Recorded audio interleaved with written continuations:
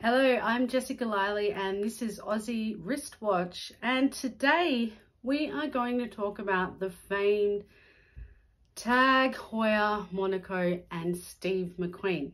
But before we get cracking, please remember to hit the like button at the bottom of your screen and also if you haven't already the magic red subscribe button because those buttons help me with the YouTube algorithm gods to keep this channel running and um, allow me to make this content. So thank you for watching and let's get into this.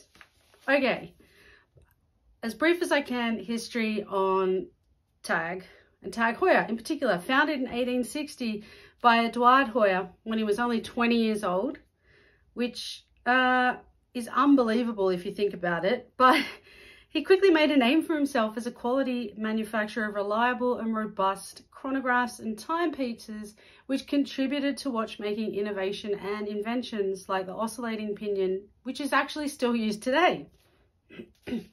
but it was actually Jack Heuer, his grandson, who kind of ferried Tag into the brand that we know it today, ultimately. Um, he was responsible for the Monaco, which was born basically out of the invention of Erwin Piquerez, who was an owner of a large Swiss industry making watch. And he created a square watch case which was guaranteed to be waterproof. And it was the first square case waterproof of its time. And Jack was ever the innovator, was attracted to the new design and he negotiated for exclusive rights over this product, which he then trademarked. And the first version of the Heuer Monaco was finally launched at the Basel Fair. And it was the first waterproof automatic chronograph with a square case. The retail price at the time was 200 bucks and it was prevented in it was sorry presented in two variations being the 1133B which stood for blue, and the 1133G, which stood for grey.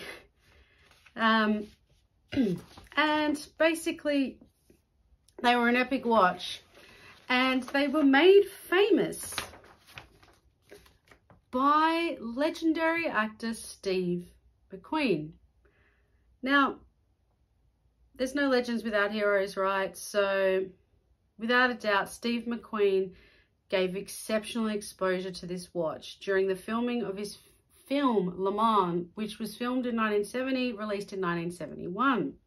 Now, at the time, Swiss racing car driver Jo Siffert was the leading driver for the Porsche team competing in the World Sports Car Championship, and he was actually a consultant on the film.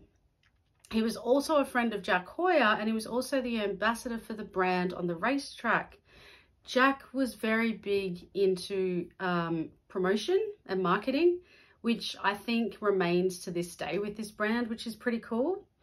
Um, and Steve McQueen took inspiration from Siffert to play the film's main character. Incidentally, he was also racing in the Porsche team at the time for the film. And he decided to wear the same jumpsuit as the Swiss champion. So just like Siffert, he wore the jumpsuit with the large Heuer logo on the chest and of course a Heuer chronograph on his wrist. But these two differed slightly in that Siffert wore an Autavia and uh, Steve McQueen opted for the square shaped, yep, you guessed it, blue dialed Monaco.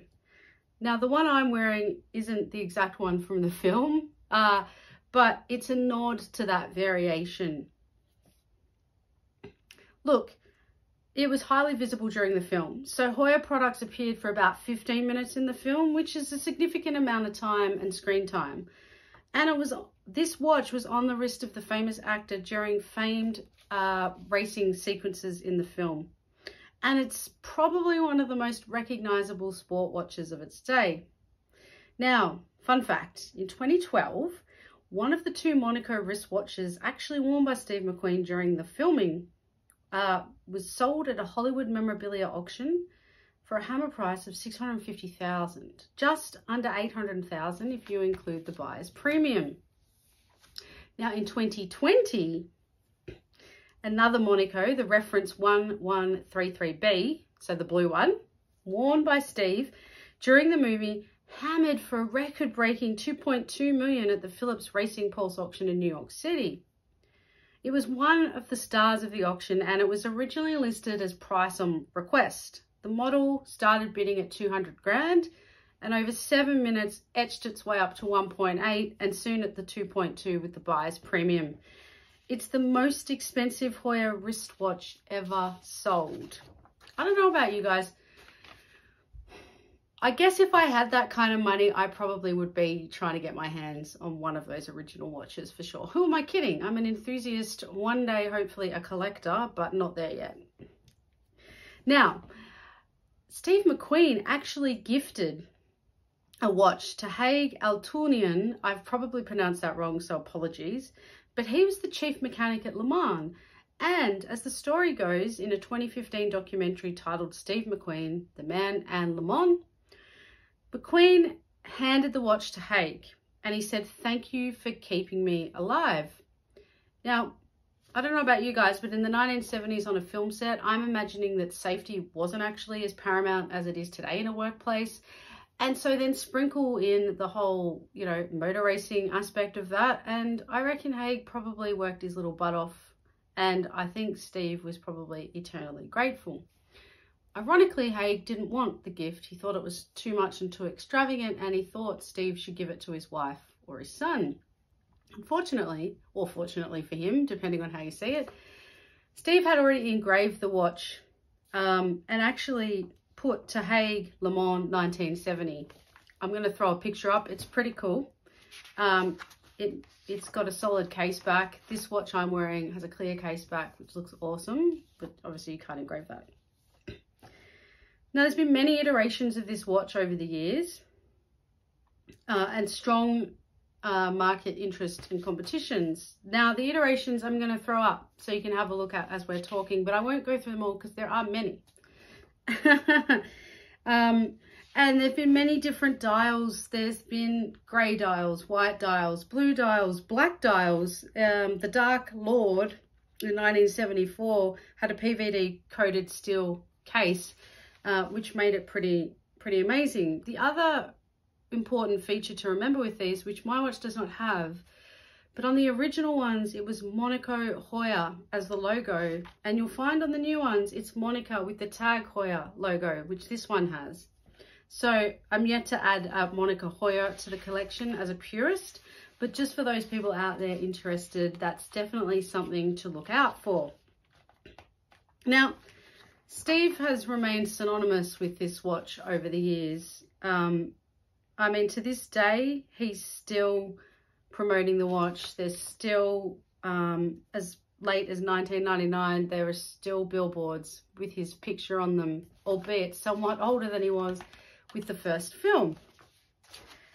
But it's a watch for the ages and it's classic. And in fact, it's still synonymous with motor racing today. You can find this watch in Formula One on the wrist of the Red Bull racing team. And in particular, Max Verstappen wears it a lot. Uh, it seems to be his watch of choice in terms of what I guess they hand him to wear before and after each race. Um, you know, similarly, it's not a tag, but you the Richard Mille watches, a Ferrari and McLaren you see them very prominently on the wrist. It's the same. Tag is synonymous with Red Bull as a major sponsor. Their whole team wears a whole raft of tag watches, but it is the Monaco that you see most frequently worn on Max Verstappen's wrist. It's very cool. Now, I'm not a huge Max fan, but I appreciate him and I appreciate um, him wearing that watch. But for me, the Monaco is always going to be synonymous with Steve McQueen. The guy is the king of cool. And look, you know, he made a few films, to be honest with you, but not, not, not a whole raft of films. Like Bullitt I think, was his other really famous film. But this watch just has withstood the test of time and has gone through history and it's, it's iconic. You know, the fact that it's the first square waterproof chronograph is awesome. um, and that they've trademarked it and that they've kept it. All these, it's like decades later and we're still wearing this watch and wanting this watch. Um, I'll review the watch in its entirety at another time, but I wanted to just talk a little bit about the history and and having this watch become so famous from a film like Le Mans. Um, it's probably one of the better aspects of the film, but we're not doing a film review, so we won't get into that. Anyway, I hope you enjoyed this video and me just talking about watches, and a little bit of history. Remember to hit the like button for me and help me out with the algorithm gods of YouTube. And if you like this video and you haven't already, please subscribe, hit the magic red button. Let's go on this journey together. Let's just talk watches. Pop your comments below. I'll get to them. I'll let's have a chat. Uh, I want to know your thoughts on the tag. Do you have a Monaco? Is it on your list? Which one do you want?